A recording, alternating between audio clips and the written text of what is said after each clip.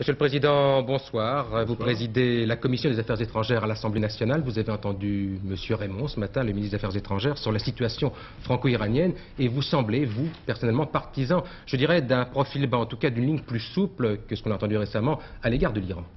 Euh, pas du tout. Un profil bas ne veut pas dire ligne plus souple.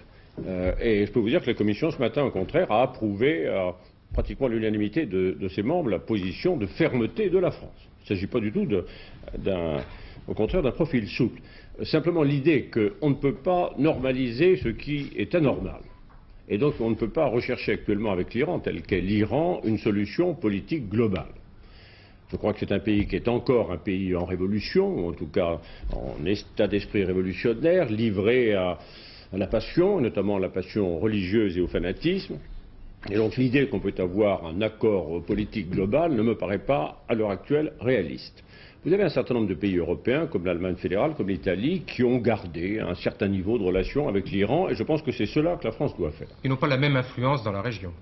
Euh, qui ont à l'heure actuelle, hélas, une influence probablement supérieure à la nôtre. Moins politique. Elle est moins politique, elle est économiquement beaucoup plus importante. Nous n'avons pratiquement plus de relations économiques avec l'Iran. Il faut savoir qu'il n'y a plus de grands projets français en Iran, sauf un qui s'achève, que notre commerce extérieur est voisin de zéro à l'heure actuelle, donc nous n'avons pas d'influence politique forte. Alors ce que je dis, c'est que la France doit défendre ses intérêts. Elle ne doit pas chercher à aboutir à un accord politique global qui n'est pas réaliste à l'heure actuelle, et c'est cela que j'appelle le profil bas.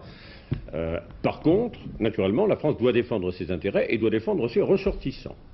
Et en particulier ceux qui ont été pris en otage. On va en parler, mais euh, à défaut de souplesse, vous pensez qu'il fallait rompre de cette manière avec l'Iran? Euh, C'est une question technique, savoir s'il fallait rompre ou s'il fallait laisser les Iraniens rompre. Ce qu'il fallait en tout cas depuis longtemps, à mon avis, c'est avoir un niveau de représentation diplomatique très bas. Quand on a en fait peu de relations politiques et presque pas de relations économiques, il faut donner le moins de prise possible aux autres et avoir une représentation politique de niveau très réduite. Alors, vous disiez en gros que la France faisait un petit peu cavalier seul dans l'affaire par rapport à ses partenaires européens. Vous ne pensez pas que le problème des otages pèse très bon poids dans cette affaire pour nous, les Français? Euh, lorsque le, gouvernement a entrepris sa négociation avec l'Iran l'année dernière, ça remonte à un an, uh-huh. euh, il a été dit explicitement qu'il ne mettait pas dans la négociation le problème des otages. Ce qui est vrai, c'est que euh, les otages français détenus en, au Liban sont détenus par des factions proches euh, de l'Iran et certainement sous l'influence pour certaines d'entre elles de l'Iran. On l'a vu d'ailleurs dans les libérations. Il y a eu cinq libérations, comme vous le savez, il faut en donner acte au gouvernement, et chaque fois, ou en tout cas pour l'une d'entre elles, on a été prévenu par les Iraniens que la libération allait se produire. Il y a donc bien une influence. Par contre, les prises d'otages au Liban ne doivent sans doute pas être décidées par un échelon central en Iran. Pour vous, Warid Gorgi doit aller chez le juge Boulouk, ça ne fait pas de, doute. Mais c'est un problème qui, ne se pose même pas. Euh, nous sommes un État de droit. Il y a une procédure judiciaire à la suite d'attentats qui ont eu lieu sur le sol français, d'attentats meurtriers. On entend un certain nombre de personnes et il est normal euh, que M. Gorgi soit entendu comme les autres. Je peux vous dire d'ailleurs qu'à la Commission des affaires étrangères, personne n'a mis en doute la nécessité de procéder à cette audition. Monsieur le Président, dans, la commission des affaires étrangères que vous présidez, vous êtes un petit peu entre vous. Est-ce que vous ne pensez pas que sur euh, des, décisions aussi importantes que ce qui vient de se passer, il faudrait peut-être en faire plus profiter l'extérieur? Alors je crois deux choses. Euh, d'abord, euh, je pense qu'il faut qu'il y ait des auditions comme celle-là pour l'information du Parlement et pour l'information de l'opinion publique. Du genre ce qui s'est fait un petit peu aux États-Unis dans l'affaire de l'Iran Gate. C'est différent. Dans l'Iran Gate, le Parlement a voulu s'ériger en tribunal une autre affaire. Je parle de la retransmission éventuellement à la télévision. Oui, par contre, la retransmission à la télévision, lorsqu'il s'agit d'événements de portée nationale, peut être une bonne chose. Et euh, je suis en tout cas tout disposé à ce que nous réfléchissions à la manière d'ouvrir nos auditions, lorsqu'elles ont un intérêt national, aux grands médias. Nous sommes dans la société médiatique, il faut en tirer les conséquences. Monsieur le Président, un mot de, politique vraiment intérieure française. Vous savez qu'il y a ce qu'on appelle aujourd'hui l'hypothèque Le Pen, avec beaucoup de prises de position. Ces dernières heures, il y a celle de Simone Veil, de François Léotard, de Michel Noir, qui demandent qu'on refuse toute alliance avec le Front National sur le plan régional. Quelle est votre, réaction à vous? Ma réaction sera de ne pas parler d'un sujet pour lequel je ne suis pas venu euh, à la télévision. Je présidais ce matin la Commission des affaires étrangères, et il y a d'autres choses que je souhaiterais dire euh, sur ce point. D'abord, euh, dans cette affaire de la guerre entre l'Irak et l'Iran, il doit être tout à fait clair que la France ne prend pas parti. La France n'est pas dans un des deux camps à faire la guerre à l'autre.